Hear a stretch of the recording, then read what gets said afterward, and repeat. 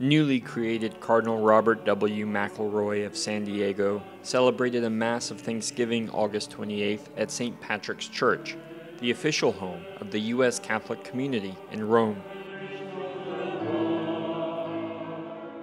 Cardinal McElroy was among the 20 churchmen welcomed into the College of Cardinals during the August 27th consistory in St. Peter's Basilica.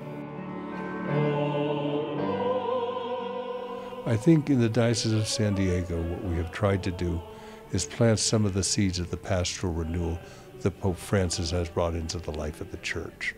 And so, uh, to that degree, uh, I think the Pope is affirming that the direction he has uh, charted out for the church is the direction he thinks the church needs to move in, and the church is beginning to move in that direction. Uh, also, of course, we're a border diocese.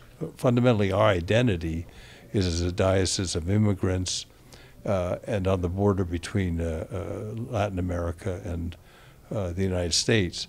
And those are issues that are greatly dear to the Pope. And so I think some of this is is because of that. But I think this idea that um, I would I would say a large part of the appointment was we've been trying to do what the Pope has been asking the church the direction to move in.